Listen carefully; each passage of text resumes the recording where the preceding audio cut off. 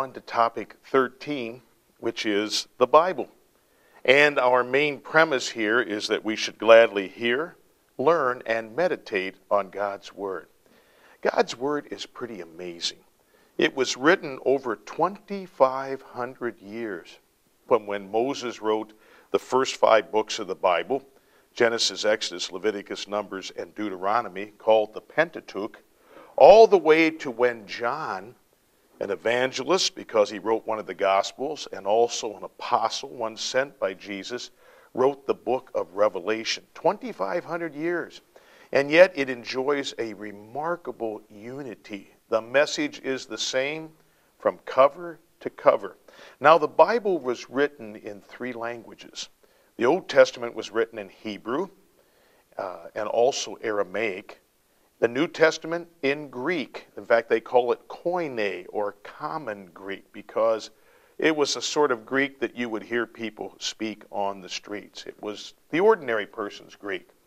And the way I remember how many books are in the Bible is I always think, okay, Old has three letters in it, OLD. Testament has nine.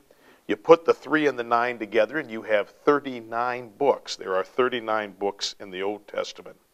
New, N has three letters, Testament has nine. But let's put a cross, a, multiplica- a multiplication sign in there, and three times nine, or 27 books in the New Testament. 27 in the New, 39 in the Old, 66 total books. Now, it's a phenomenal piece of literature and could be studied on that level, and certainly very talented and gifted individuals wrote the Bible. But also, the Bible was written by ordinary people because you see, we believe two things about the Bible. In fact, there are things that the Bible teaches about itself. First of all, it certainly is a human writing. Uh, Mark, which is the gospel that Peter dictated to Mark, Mark is certainly uh, written in a, in a much rougher, more immediate style than the Gospel of John. So the writings reflect the human authors. It's a human writing, but these people were inspired by the Word of God. So the Bible is also a divine writing, it's the very Word of God. Now, why do you suppose God gave us the Bible? I guess that we could uh, figure out God from the things of nature, but we've talked about that. I've talked about that a number of times at Holy Cross. And the problem with figuring God out from nature is that uh, depending on where you live and what is going on, he's either a harsh God, he's a warm, sunny God. Uh, you know, bad things happen in life, good things happen in life. What do they mean? Now, if I were to ask you, what are you all about? Well, you would begin to tell me. You would speak to me. You would communicate with me. And that's what the Bible does. The Bible is God's love letter to us. He's telling us who we are, He's telling us who He is, and uh, he's focusing it all on our Lord and Savior Jesus Christ. In John chapter 5, verse 39, Jesus challenges some people. He says, You search the scriptures because you think you find eternal life in them, but they testify about me. Jesus Christ, the main message of the Bible. Now, it's any piece of literature we ought to take it at its own claims or, or what it says about itself. And here's what the Bible says. In fact, if we go to the New Testament, to 2 Timothy chapter 3, and we look at the claim that the Bible makes upon itself, uh, we read these words. Paul says, From childhood you have been acquainted with the sacred writings, that is, with the Bible you have been acquainted with the sacred writings, which are able to make you wise for salvation through faith in Christ Jesus. Ah, there's the main message. Wise for salvation through faith in Jesus Christ or Christ Jesus. We expect the Bible to point us to Jesus. And then it goes on and it says this All Scripture, the Bible, all scripture is breathed out by God. Literally, it means it is inspired by God. God has breathed into those writers his very life. And the words that they speak now, even though they use their expressions and their humanness, they are God's word. So we can make the claim that the Bible is without error because God is without error. So we know the Bible points to Jesus Christ. We know that the Bible is uh, without error because God has inspired or breathed into it. And we go on. It says a couple other things. It says, All scripture is breathed out by God and profitable. Profitable for teaching, for reproof, for correction, and for training in righteousness, that the man of God, that means the person of God, the person who belongs to God, that the man of God may be complete, equipped for every good work. The Bible equips you to live for God.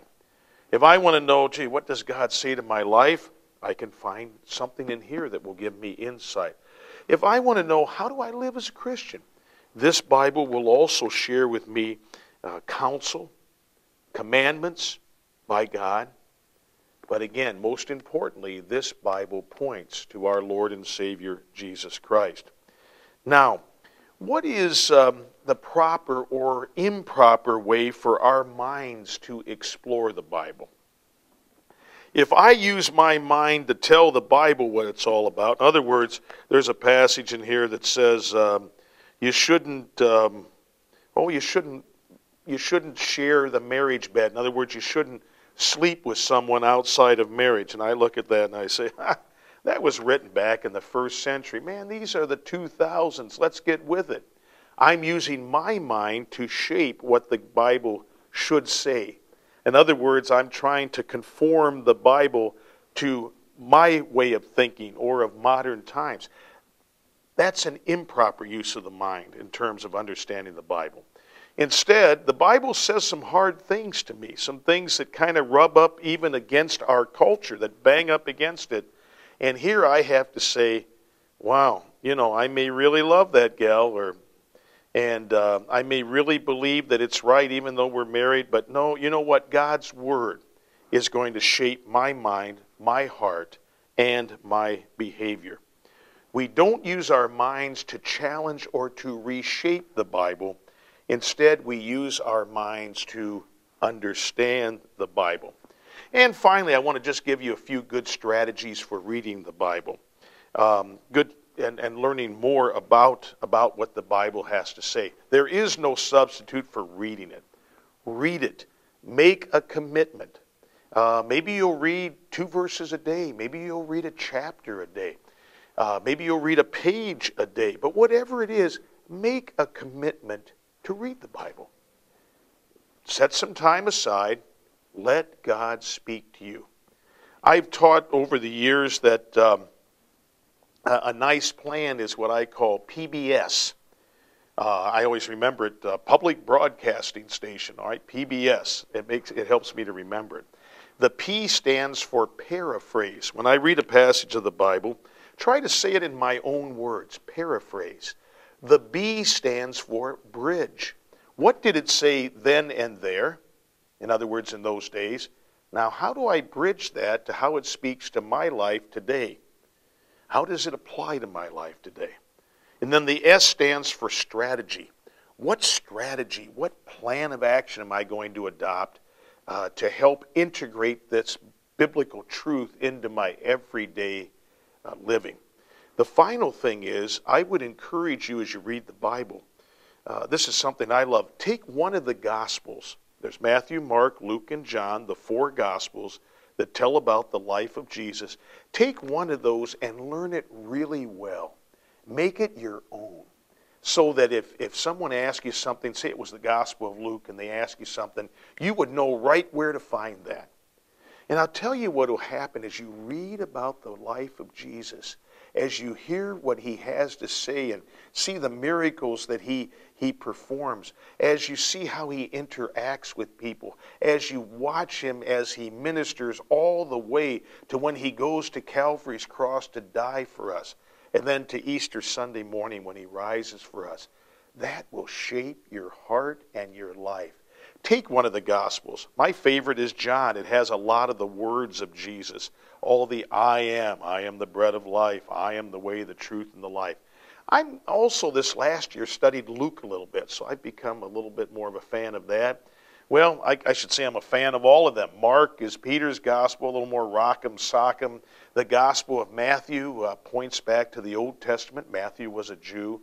So all of them are good, but take one of them and attempt to master it for yourself. That's our lesson for today on the Bible. We should gladly hear, learn, and meditate on God's Word.